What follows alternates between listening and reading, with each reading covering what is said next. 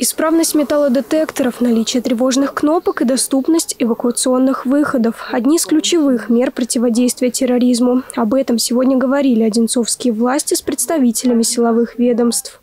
Мы должны убедиться, что безопасность на всех наших объектах обеспечивается на самом высоком уровне. Речь сегодня и про школы, и про концертные залы, и про дома культуры, и про наши спортивные сооружения, торговые и бизнес-центры.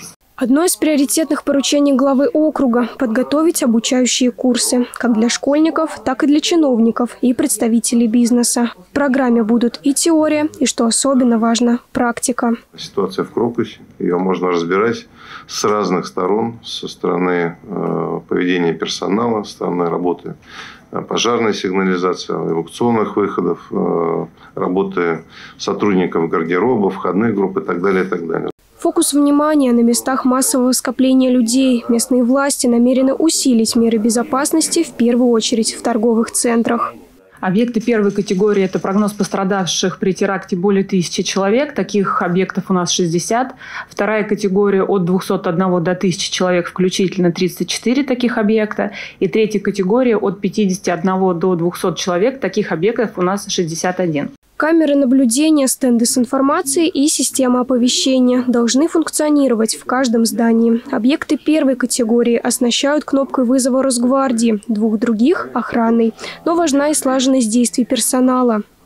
Сотрудники, которые работают в организации, там, где у нас есть массовое пребывание людей, должны четко знать алгоритм своих действий в случае э, чрезвычайной ситуации. Что делать, кто ответственный и куда вести или выводить людей.